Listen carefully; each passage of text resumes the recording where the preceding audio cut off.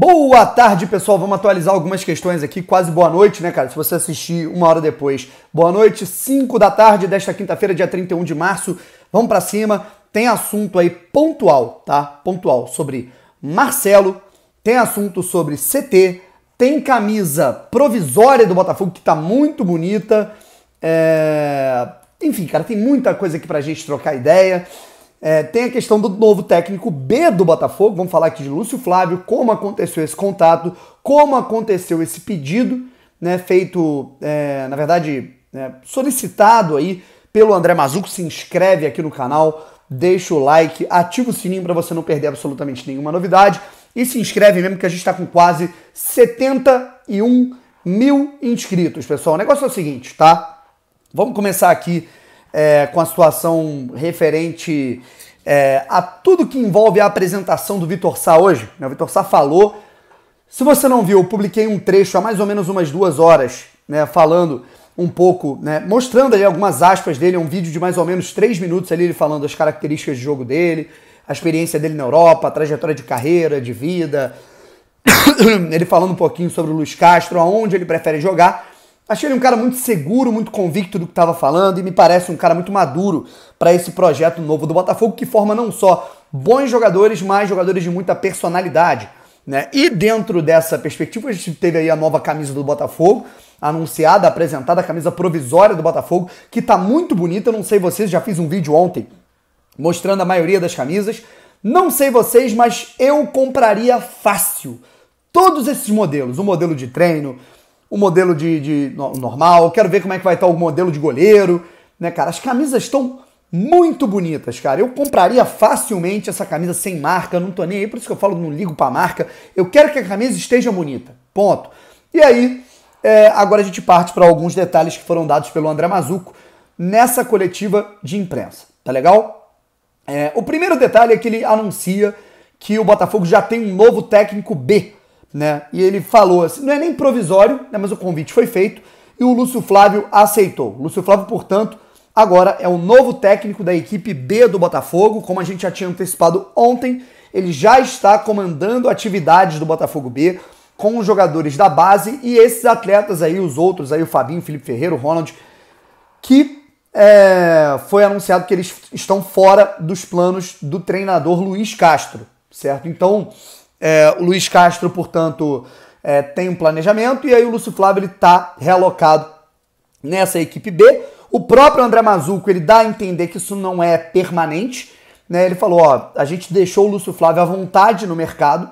Vamos dizer, ele recebe uma proposta. Recentemente ele recebeu uma sondagem no Paraná, não aconteceu. O Paraná contratou outro clube, ele quer outro desafio, beleza. Né? O Botafogo busca outro técnico. Mas nesse momento de transição, de construção de um Botafogo B, o Botafogo quer o Lúcio Flávio para ajudar, certo? Eu acho que para esse primeiro momento eu não vou me opor, não, não vejo problema. Não acho o Lúcio Flávio um bom personagem, vamos colocar assim, não acho o Lúcio Flávio um bom técnico, né? Mas ele, inegavelmente, ele é um cara que ele dá oportunidades para a garotada, ele é um cara que é, ele trabalha, de certa maneira, alguns jovens é, atletas é, com uma certa qualidade, né? Mas é, eu acho que para um projeto a longo prazo eu preferiria ver um Botafogo B sendo mais. É, sendo treinado por uma, uma outra pessoa, né, cara? Um cara com uma experiência maior, certo? Mas eu acho que nesse início não tem nenhum problema. Acho que esse convite também será feito ao Flávio Tênios, tá? Para ser o preparador de goleiros do Botafogo B. A gente anunciou ontem, este, é, informou, antecipou ontem que o Botafogo não pretende fazer nenhuma demissão né? O Botafogo pretende, não pretende demitir o Flávio Tênis, é, mas eu tenho o sentimento que o Flávio Tênis não deve aceitar. Né? Não sei, tomara que ele aceite. Né? Tomara mesmo. que ele seja um preparador de goleiros aí da casa. Mas é, o Flávio Tênis é um cara que tem mercado. Até em clubes de primeira divisão. Tá? Enfim, vamos lá. É, a gente falou aí do Botafogo B, tem a situação também do centro de treinamento, pessoal. É, o Botafogo, o André Mazuco, ele respondeu sobre essa questão, ele participou da coletiva ao lado do Vitor Sá e ele foi questionado. Né? Temos uma janela, ele falou não só sobre CT, mas janela de transferências. Como é que está essa correria para o Botafogo contratar pelos próximos 13 dias. Afinal, a janela, a primeira janela nacional, ela fecha no dia 12 de abril. Temos uma janela se encerrando em breve, sabemos que seria desafiador. Não tínhamos um número fechado de jogadores, nosso objetivo era aumentar o nível da equipe e temos conseguido isso com atletas que chegaram. Buscamos ainda reforçar e o trabalho só termina dia 12. Então o Botafogo ele ainda pretende reforçar. Eu já falei aqui, o John Textor confirmou que ele quer pelo menos uns dois ou três jogadores a mais até a estreia do Botafogo no Campeonato Brasileiro. Tá? Entendemos as dificuldades que o Botafogo passou nos últimos anos. Eu brinco com os caras é, que os caras foram bem demais na condução do Botafogo no acesso à Série A, porque a estrutura ela é muito defasada para um nível né, que o Botafogo quer alcançar, ela é defasada. Mas temos o mais importante, que são as pessoas. A equipe de trabalho é de extrema qualidade. Dificilmente você encontra tanta gente boa no mesmo lugar. Isso é verdade. Isso eu sempre falei aqui. O Botafogo ele precisa de estrutura e de uma alta cúpula melhor, porque os funcionários do Botafogo são muito bons. Fisioterapia, fisiologia, médico, enfim. É, ao mesmo tempo, não temos as melhores condições de trabalho. Essa semana tivemos que nos deslocar estamos tentando nos recuperar Estamos tentando, perdão, recuperar dos campos, o anexo, o próprio Lonier, mas não temos nossa casa, um CT. Não vai faltar trabalho, mas as condições de trabalho são muito inadequadas para um clube da grandeza do Botafogo. Isso é sabido. Estamos buscando uma solução. Todos que vieram para cá são sabedores desses problemas. Ou seja, o André Mazuco deixa claro, evidente, que o Botafogo ele não tem uma estrutura adequada para a primeira divisão. E enquanto o Botafogo não arrumar a sua vida, entender o que, que ele quer pro Lonier, para comprar mais um terreno, comprar um terreno para o CT profissional, arrumar a casa e estruturar muito mais o estádio Newton Santos para melhores condições, é, o Botafogo ele vai ter que alugar um CT. Hoje, por exemplo, o treino ele foi na aeronáutica, tá? Botafogo treinou no CT da aeronáutica e, e, e realizou as atividades de treinamento por lá, certo? Então, o Botafogo ele vai buscar o aluguel desse CT que, na minha visão, é fundamental que o Botafogo corra para isso, tá? É... Enfim.